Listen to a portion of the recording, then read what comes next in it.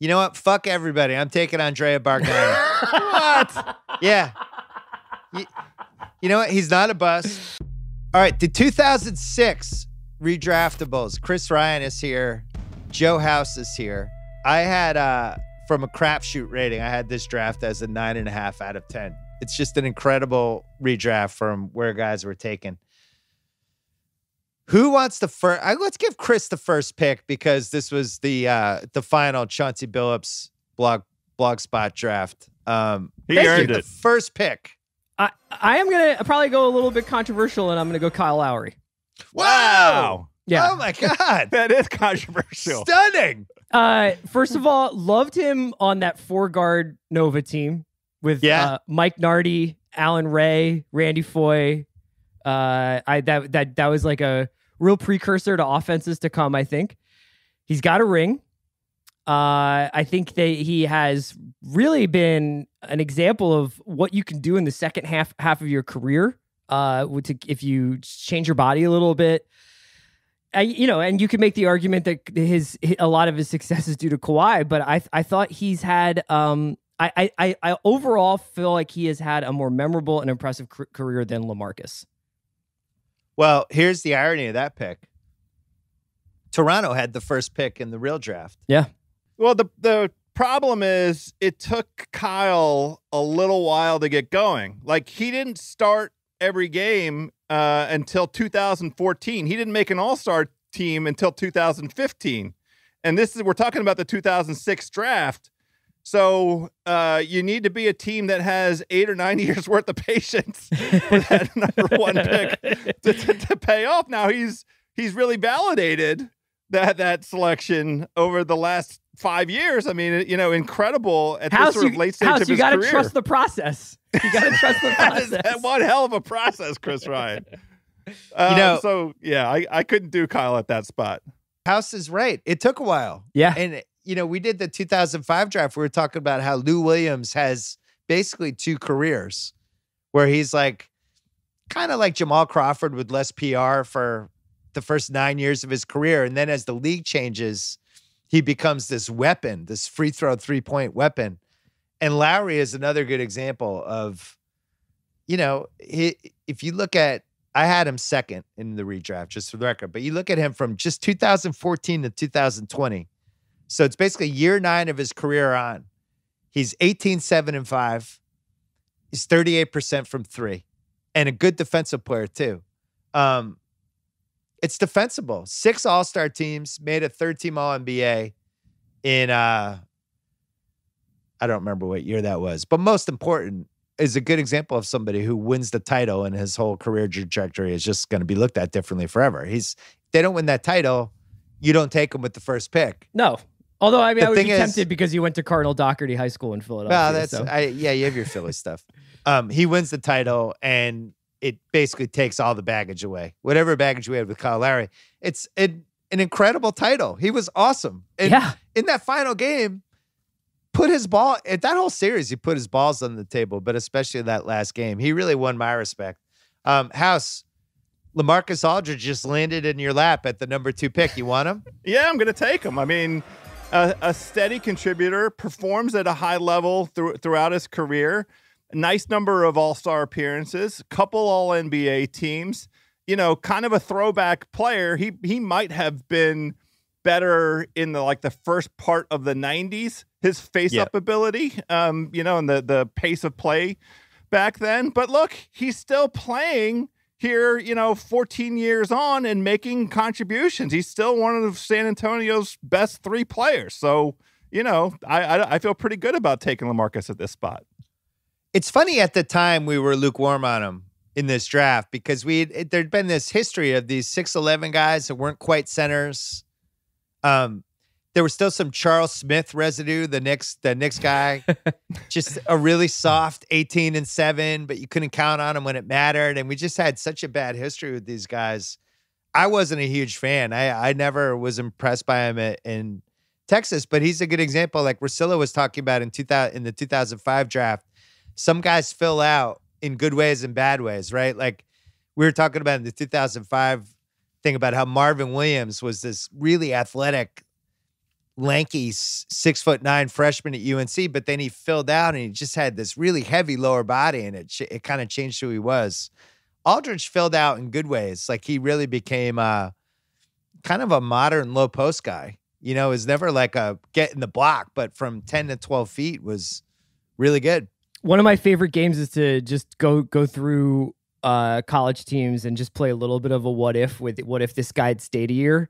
And we did miss like a pretty incredible Texas Longhorns team with Lamarcus because that was KD comes the year later. And if if everything kind of breaks right, you might have a, a Texas Longhorns team, albeit one coached by Rick Barnes, that has KD, PJ Tucker, Daniel Gibson, and Lamarcus. And, Wow. and yeah. So he's 19 and a half and eight rebounds a game for his career.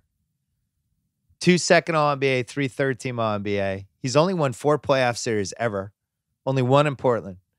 Uh, 2014 playoffs, which was a year before his free agency, was really his breakout. And I remember doing countdown that year, us doing segments about is Lamarcus Aldridge one of the best players in the league now, shit like that.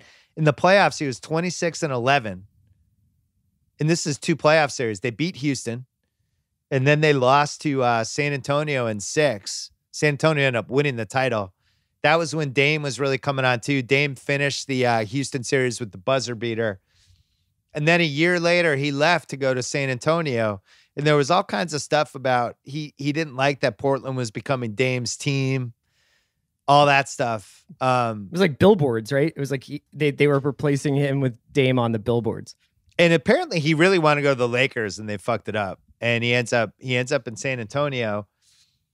When he goes to San Antonio, we don't know that Kawhi is going to become Kawhi yet. And you think like they had a couple decent teams, but that 2017 Spurs team that was ready to go toe to toe with the Warriors that that year was probably his best chance to. I don't know if they would have beaten that Warriors team. I don't think they would, but that would have been a slugfest. That series.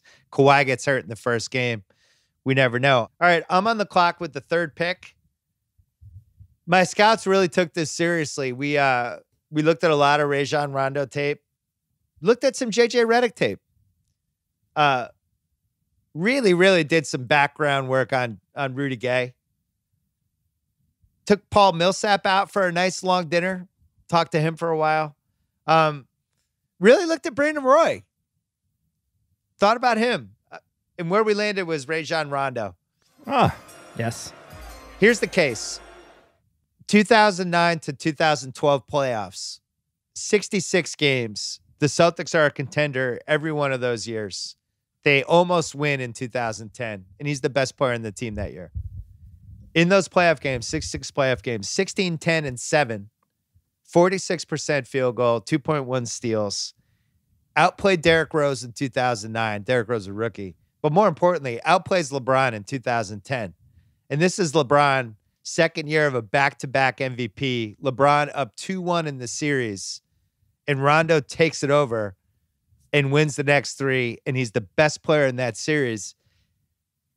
This is a bad thing for LeBron's GOAT campaign, by the way, because you, you feel like, all right, he's the GOAT. Well, that one year when Rajon Rondo outplayed him in the fucking playoffs kind of hurts the case.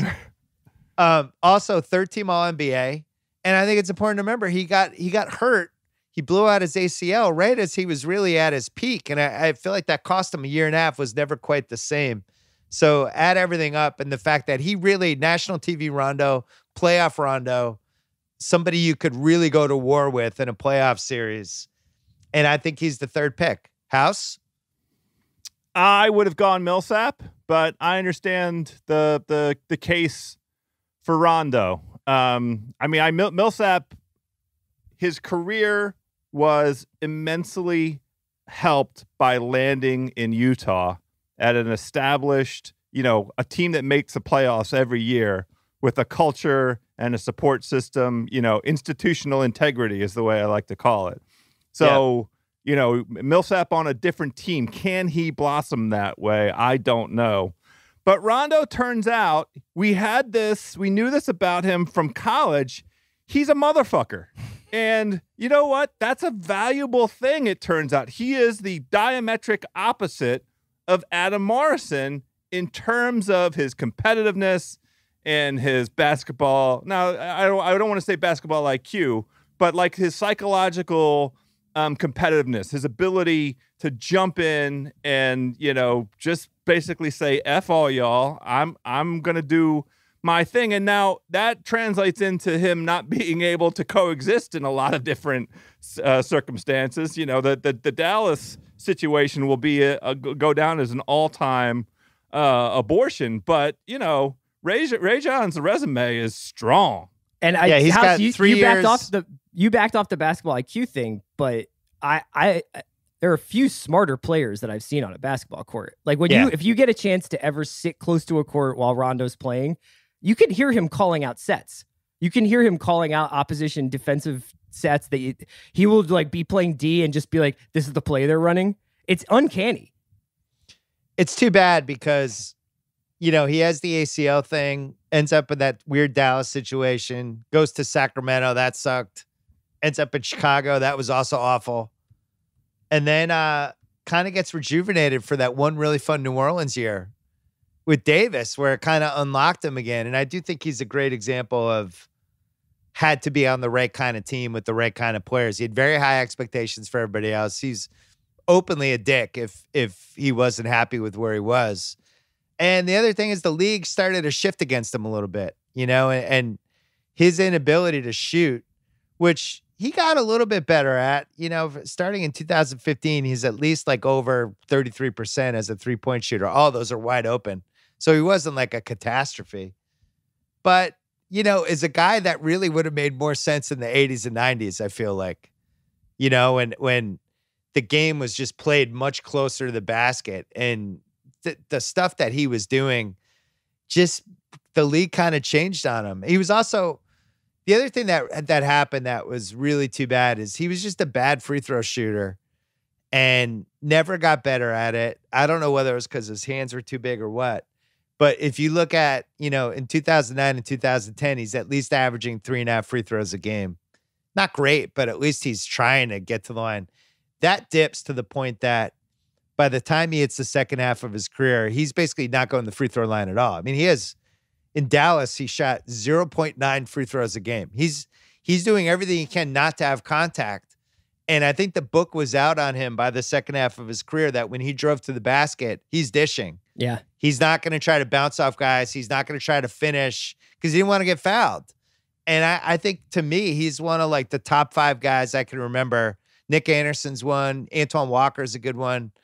Um, guys who just didn't want to get fouled and it changed how they played. House was the opposite. House loved the contact. Searching for contact. he he needed loved it. it. Oh, He- so he- I, that's an easy way to pad the stats. He wasn't afraid, especially in intramurals. He wasn't afraid to lurch into guys. Like House Uh, wanted to go to the line. Rondo I- was the opposite. So I- I, I actually, I, I weirdly feel like this wasn't the best version of his career. I think there's a different version that's just better than what we ended up with, but it was still really good. Yeah, he's obviously a coach guy. He's obviously a guy it really mattered who who wound up being the coach, and it wasn't necessarily always the better coach. I mean, Carlisle is obviously one of the best coaches we've had in the NBA in a long time, and, and those guys couldn't be near each other. So yeah, Right. I you know the the sort of environmental stuff with with Rondo, it's like crapshoot. I have no idea who who he would have thrived under. Well, the, the observation I want to make is there could still be another, maybe it's not a full length chapter, but half chapter for Rondo in these playoffs coming up that we're going to have in the 2020 season. Right. He's healthy now. And that Lakers situation is absolutely perfect for him to flourish and for him to make a, an impact. And Chris, you've said it a couple times. It, it's prime time Rondo time. God. Like he's gonna, he might b- play a really meaningful role in in how the the Lakers um, end up in this 2020 playoffs. Well, he he can't be better than LeBron, so that's good. I've been saying for years that national TV quarantine Rondo was the most dangerous player in the NBA. So it'll be interesting to see how that plays out. All right, Chris, you have the fourth pick in the draft. This was the pick that uh, was technically Portland, and then they traded up. Who do you have? Yeah, I'm gonna go Millsap here, even though I'm I'm bored even saying the two words Paul Millsap. It's funny. I had him sixth in my redraft, but I think it was out of pure boredom. Solid guy, 17 and 8 from 2011 to 2017. Four All Star teams. Um, I think that was partially had to do with the forwards were just loaded in the West and pretty pretty weak in the East for the most part.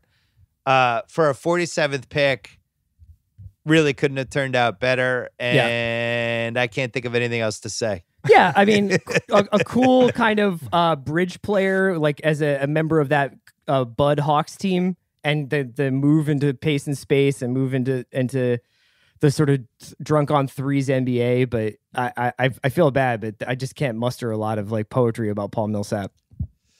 House, you're on the clock at five. I'm going to take Brandon Roy here. Oh, I I think that five years of Brandon Roy is the functional equivalent of the longer careers of of some of the guys that came after him. I mean, th- this this this five spot, the eligible candidates are like JJ, which is you know totally uh, legit. Um, uh, who who else? Rudy Gay, you know, Yep. uh, PJ Tucker, I guess. I'll just take Brandon Roy right here. He made he won rookie of the year and he missed 25 games that year. He was an all-star by his second season. He made two all-NBA teams in his 5 years. So you're basically, you know, evaluating with all of the information we have now, what can I get in this 5-year window that I have of of Brandon Roy? Um, is it is it enough with the other pieces that I have around me? And at that stage, this was an Atlanta pick, right? Am I right? The fi fifth pick overall was Atlanta. yeah. So they had Josh Smith and uh, Joe Johnson at, at that point. Like, what a dynamic scoring team uh, in the East at that moment. So I, I, I just, you know, go ahead and take a swing. Is is my view uh, with this draft. Pod listeners can't tell this, uh, but Joe House just said all of that with a picture of John Wall behind him. So you know he knows what he's talking about when he's discussing leg injuries. Yeah. uh, Brandon Roy's first four years 25 and 5, 47% field goal, 35% from three, 80% from free throw. For, he made an All NBA second team, which is really impressive. That means I am one of the 10 best players in the league during an era where there were some really good guards. You know, so you you have Kobe in the league at that point. You have Chris Paul, Deron Williams, Tracy McGrady, et cetera, et cetera. Uh, he made a he made a third team All NBA, made three All Star teams, and you know this is this is uh you know a little out there, but he in the 09 playoffs, he plays a six game series against Houston and they lose. He averages 27 a game in that series. If you're averaging 27 a game in a playoff series, you're legit. And you know, I the Portland's just taken so many hits over the years. You think about like Greg Oden, Sam Bowie, they walked into um, Bill Walton, Brandon Roy, the the the talented guys that just it's almost like uh, the Bermuda Triangle in a lot of ways. What what was a real bummer about this was what a great guy he was, and you know I I I hate sometimes when the talking heads talk about like great guys, character guys, whatever, but this was a, like a model citizen, awesome guy who kept having bad luck in his basketball career, but really handled it with real dignity. And when he had that moment in the playoffs, what was it, 2011, when he's hurt? Yeah. When uh, what series was that? Was it Denver? Yeah, I think it was Denver because I remember it being kind of like a, a an interdivision playoff series. And he has. Oh, it was I'm sorry, it was Dallas. It was Oh. the 2011 Dallas series. And it's a really weirdly pivotal moment with that Dallas team because Dallas goes to win on the win the title that year. But they're favored in this Portland series. Brandon Roy is on really his last legs at that point, and Portland wins two in a row at home to tie to uh, tie the series.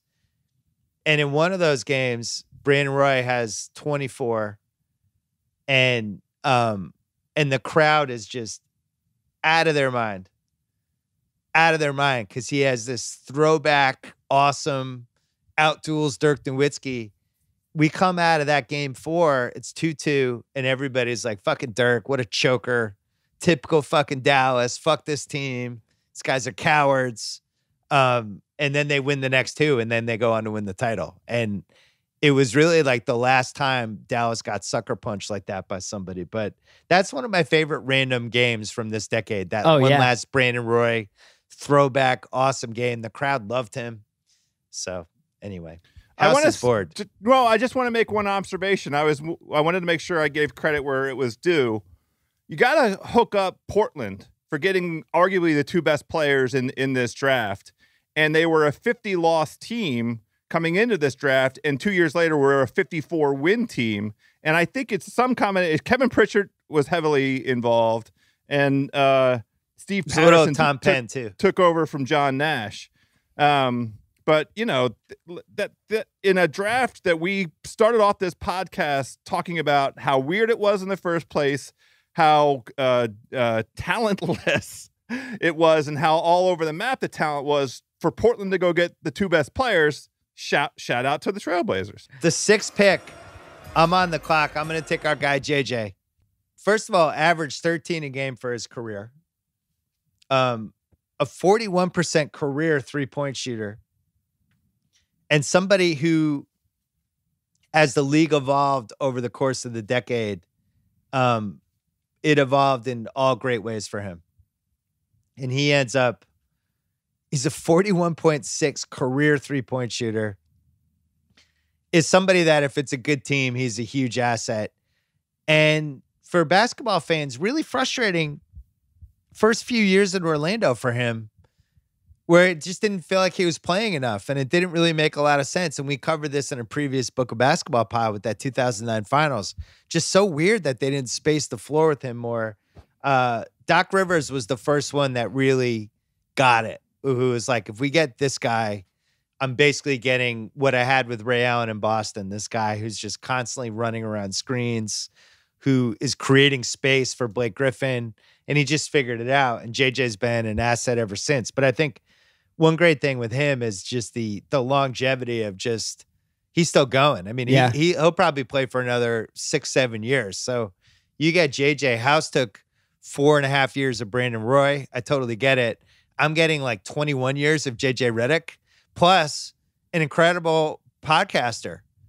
I get all his multimedia too. That's right. I'm when I draft JJ, I'm smart enough to also get all his media stuff. So it's a win all the way around. I think you're right. Like we haven't even gotten to the late period Kyle Korver of JJ's career yet. Like JJ's No. still weaving his way through four screens per set. Like we haven't gotten to the like I'll trail and just just drill this open three after somebody gets penetration. You know, Oh yeah, that's He's gonna be able to play, like, career. 11 minutes a game and just score nine points that might push you over the top. Yeah, that's a, it's an awesome point. He's still fast. That's that's I think the point you're making, Chris. And and in, in view of he's also an avowed foodie. Loves loves to eat. Another very relatable thing about him. Likes to eat at all the best places. Has had many great food people on his podcast. I admire that engine, that running engine uh, that he has to feed with good fuel. Great job, JJ. I'll tell you this. He's a top three NBA player going nuts during the quarantine because he's been knocked out of his routine, guy. this is he's just somebody whose whole day was structured and goes to the gym and and not being able to just do do normal stuff. Those those shooters are a different breed where it's just like at 3:30 I will shoot 793s in these seven spots and then I'll be done at 5. I'll see you then. Like you just kind of have to be wired that way. Wow, Chris. I'll be interested to see what you do here at the 7th pick. You think There's I'm going one to get obvious funky? pick. There's a couple sleepers. Uh, who do you have? Josh Boone. No. no, I'm going to go Rudy. And I think Rudy is an interesting uh, person to pair with JJ. Uh, both coming out of uh, relatively, st- I mean, JJ obviously had a more storied college career, but Rudy was great at UConn. And he comes into the league, and I feel like immediately, or pretty soon after he gets into the league, becomes a poster child for an outmoded style of basketball. And uh, kind of never really finds the place that really took a, a- advantage of his skills. I don't think he was ever going to have that McGrady gear, but it was clearly a scorer built in that mold and maybe just wasn't good enough to deserve all those touches and had a game that was really 18 feet and in at a time when the game kept moving out and out and out. From 08 to 2017, first basically 10 years of his career, throwing out his rookie year. He's 19 and 6, 34% from three. No all stars, no all NBA teams. And I, I think you made the key point. He's involved in two trades that really frame the last 15 years of the league. The first one is the actual draft day trade where Daryl trades the rights to Rudy Gay for Shane Battier, a trade that nobody type of trade nobody ever made. There, there's really only a couple examples. Like in the late 70s, Philly traded George McGinnis for Bobby Jones. And the real NBA people knew how good Bobby Jones was. He was an incredible defensive forward. He was an ABA legend, all that stuff. But George McGinnis was like a quote unquote superstar. Only he wasn't when you really picked it apart and you looked at him. He was like a ball stopper, couldn't guard anybody. It's kind of redundant with Dr. J. And they trade for Bobby Jones, and it's this awesome trade. Rudy Gay on paper made a ton of sense with McGrady and Yao, right? It's like, great, Yeah. here's our third scorer. And Daryl was looking at it differently. It's like we Shane Battier, great corner three guy, uh, awesome defender, won't need the ball. I don't need to get him touches, and just looked at it a different way. So that was the first trade. The second one happened when I was on NBA Countdown in 2013. Memphis just dumped him to Toronto and basically got back the Jose Calderon, Tayshaun Prince contracts, Ed Davis, and created some cap space. And we went on the show, and it was the biggest argument we had in the regular season. It wasn't like angry, but it was we had Magic and Wilbon on one side, me on the other, and Jalen kind of in the middle, are arguing about this trade. And they were killing Memphis for throwing away the season because Memphis was a playoff team Yeah. and a potential contender. And it was like, what are they doing? Why would they do this? And at that point, we had enough advanced metric stuff. Like at Grantland, we were really ahead. I feel like we were really ahead of the game those first couple years with the way we were covering basketball. And we had Zach Lowe. I don't remember if we had Goldsberry at this point. And there was a lot of early data about Rudy Gay. Like this guy actually doesn't really help your team. It's a- it's actually empty calories. Um, they might actually be better off redistributing the shots that he was getting to other people. And we argued about this on the show, like really, really, really vociferously. And I got to say, I ended up winning because Memphis made the conference finals that year. Partly, this was a classic Ewing theory trade. House, you were in all along. You never liked Rudy Gay, dating back Well, to UConn. the thing that made that trade work for Memphis was Tayshaun. Yeah. Basketball IQ through the roof. I mean, talk about a guy. You know, we I've I've been in the same place as him before. Walked up, you know, next to him. If he's ever weighed more than 175 pounds in his life, I, I don't know when it when it was. Um, but that guy is so smart and such a good chemistry guy, and he was a perfect complement to that Memphis team, and Memphis got you know better uh, uh, by subtraction by getting Ray a ball. I mean, uh, Gay, sorry, a ball stopper out of the mix. Right. Ball stopper. They got more minutes for Tony Allen. Tayshaun comes in as like kind of the the glue guy, a little Battier esque. It's a really smart trade. And it's funny because all the smart basketball people got it. And all the old school basketball people are like, you can't give up Rudy Gay, man. He's got end of the game. That's who your go-to guy is. And it's like, actually, none of the stats back that up. We had crunch time stats at that point, and he was terrible. Yeah, I think And- that we, but it was like it, it was the transition from having arguments about guys with albatross contracts to having arguments about guys with empty numbers.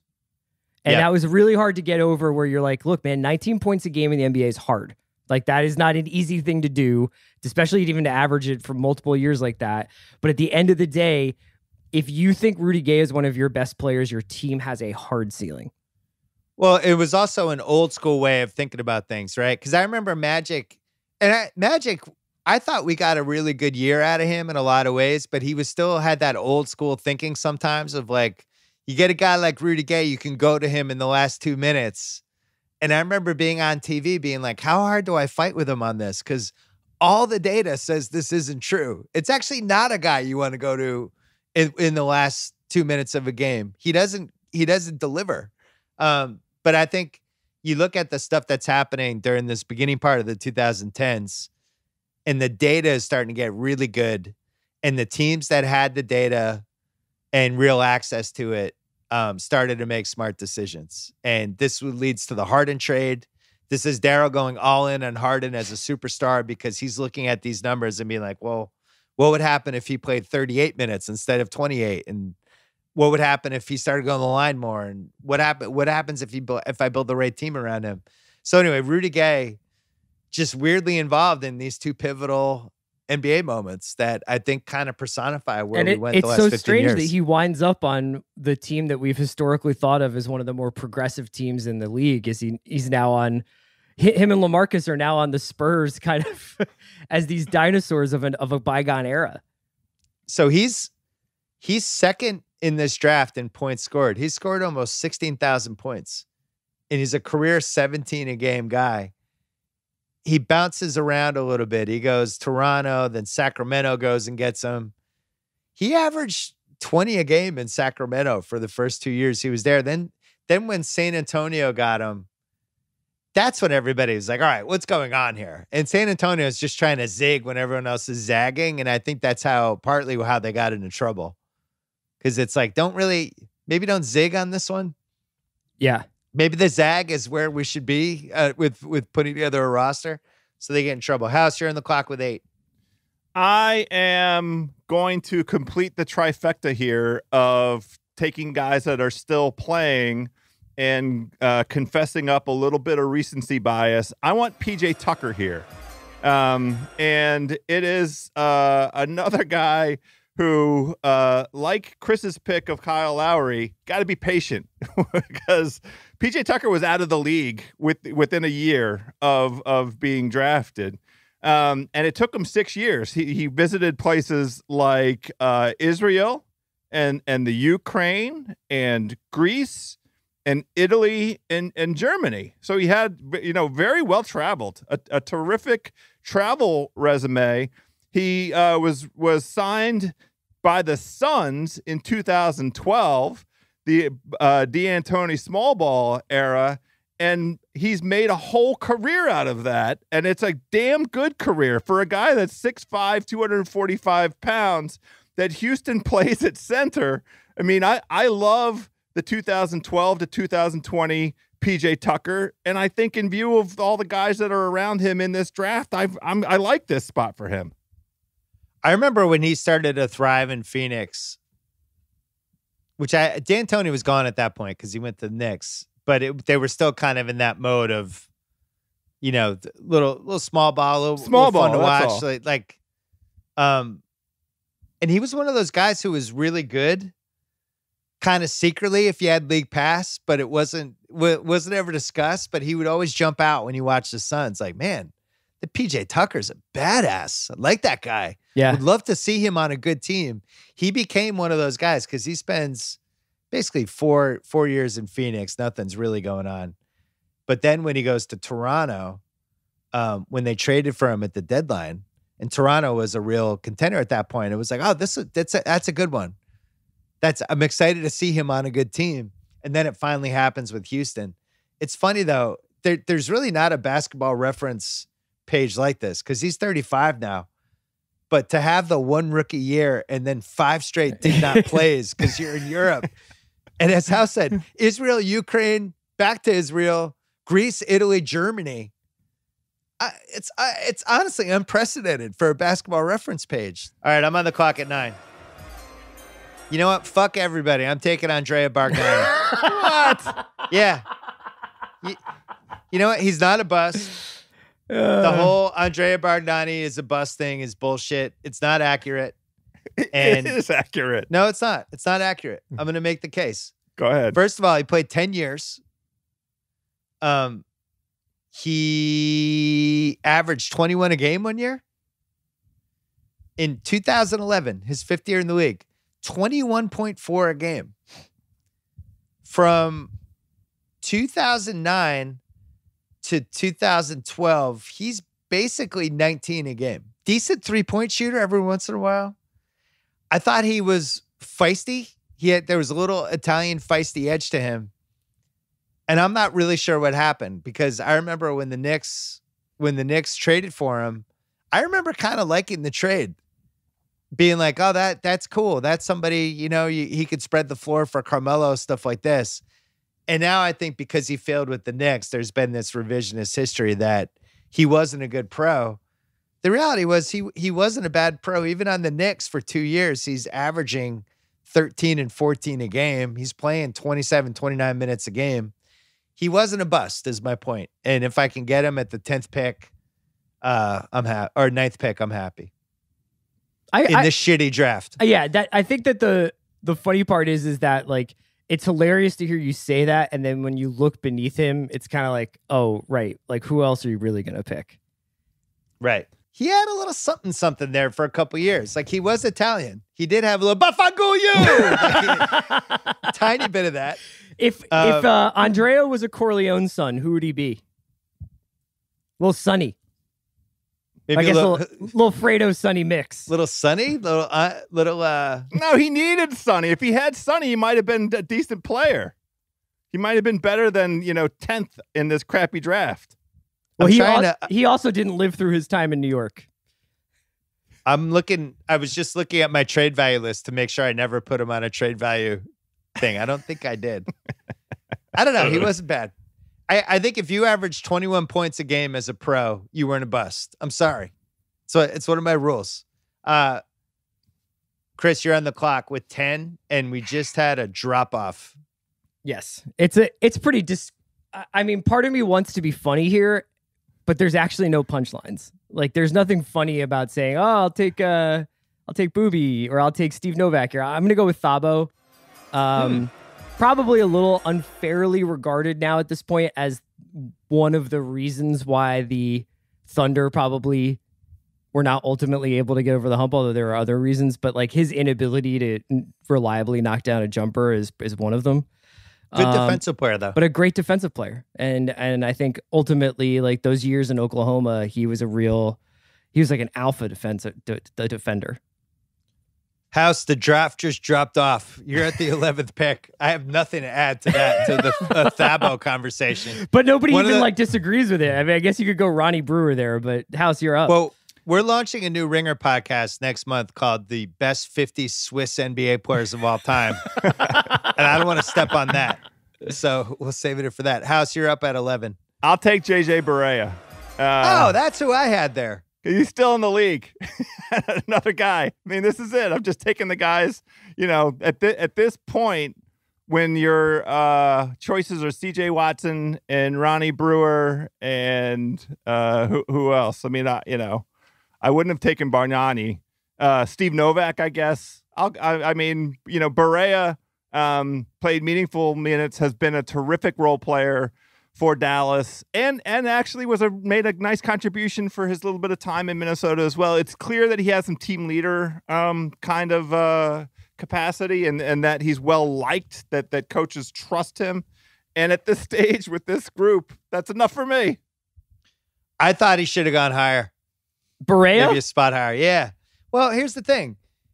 In 2011, he plays 21 playoff games for a team that wins the title, 18.6 minutes a game, nine points a game, and famously fucked with LeBron's head when Dallas had him guarding LeBron. And it was the all time Jedi mind trick. Fuck you. You're not you're not man enough to post this guy up. We dare you. And it like broke LeBron's brain for four finals games. He's like, another another goat advertisement. yeah, well, that's tough. 10, 10 and 11 are, are really like undermine the LeBron go case. Um, but, you know, he, he was, he, he, he didn't hurt them in those finals. And if anything, had a couple good moments, but he had a galvanizing effect on his teammates that I think we can't sleep on either.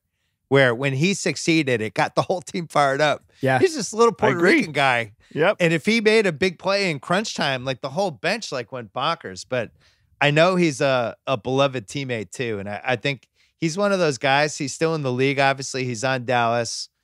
He's one of those guys that will stay a little like Udonis Haslem, where uh, he'll stay in the league three years after it's over just because he's so good to have on your team.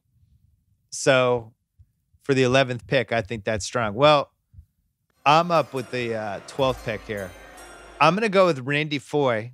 First of all, played 11 years.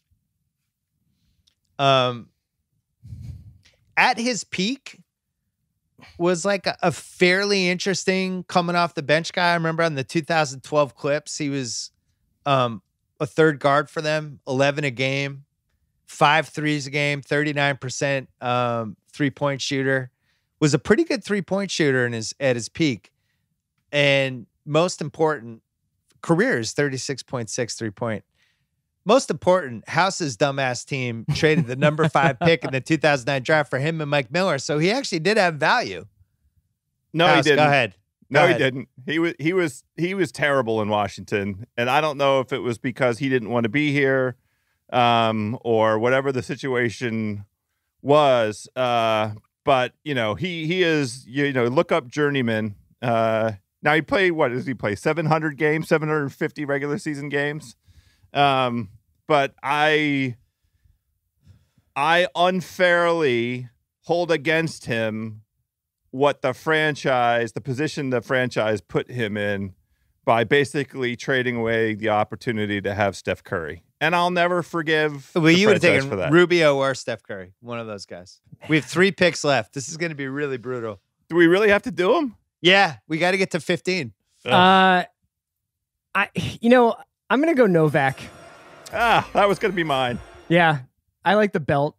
That that- that's about all. I mean, like Ronnie Brewer never had anything as cool as the belt, so I'm gonna go with Steve Novak.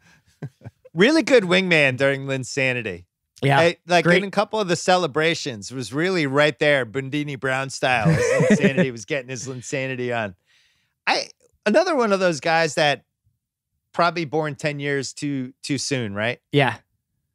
Because you forty three percent, forty-three percent from three for his career is is quite good.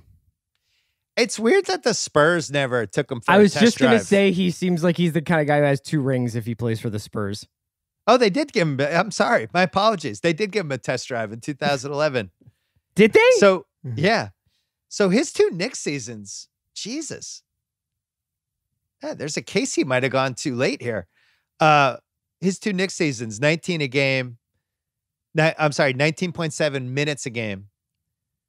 And he shoots 44.5% from three on 4.7 threes a game for two solid years and was kind of dangerous. yeah, Yeah, that's was a, was a garden favorite. Good value, Chris. Thanks. House, your last pick, number 14. I uh, am taking this player just because I want to make this immensely juvenile and stupid and obvious joke, and I like Booby. That's it. I'm just taking Daniel Gibson here. 397 career games, uh, 16 win shares. Um, you know, played important moments uh, with the Cavaliers, and his nickname is Booby, and that's all I have to say about him.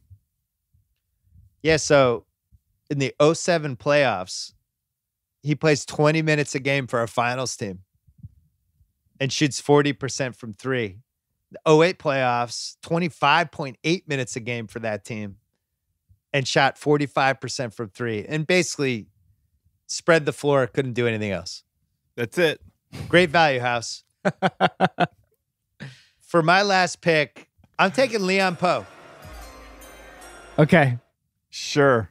Leon Powe with the Celtics in the 2008 playoffs, 12 minutes a game, uh, played every game, and has an iconic finals game. I think it was game two. There's one, either game one or game, game two was the Leon Powe game, I think, when he just kind of comes in and lays the smackdown on the Lakers and does this thing. The guy had like no ACLs and uh did his thing. You you guys aren't as excited about this as I Well. I'm looking at this and I, I'm trying to see if if it's wrong. I believe he has the highest win share per 48 minutes of anybody in this draft. I think I'm looking at this correctly. This Here it is- is. Game game two. He plays 14 and a half minutes, 21 points, 13 free throw attempts. Game two against the Lakers. Single-handedly swings the game. So Bill, is this for where you I'm- announced the new Ringer podcast feed, the rewatch Rewatcha pose? the way that's Just Uh. all Leon Powe's games. Listen, if you we and get to like year three of the quarantine, the rewatch it pose is is in play. So is 50 greatest Swiss players ever. Both of those ideas could happen. Uh, yeah, I think we covered everything. What a bizarre draft. So we went in in order. Uh, Lowry, Aldridge, Rondo, Millsap, Roy, Redick, Gay, Tucker, Bargnani, Barea. I'm sorry, Bar- Bargnani, Sefolosha, Barea, Foye, Novak, Leon Powe. If you just do those top six where they were actually picked 2, 21, 47, 6, 11, 8, 35. So this is a weird one. a lot of variance. I just want to ask to be on a good draft sometime with you. You want to be in a good one? I can do a good draft. Okay. One of these pre-draftables. He'll consider it.